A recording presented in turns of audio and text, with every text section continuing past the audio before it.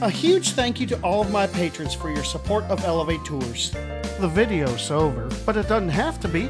You can always watch more, and you know what to do. And don't forget to subscribe and light up that bell. Until next time, bye y'all.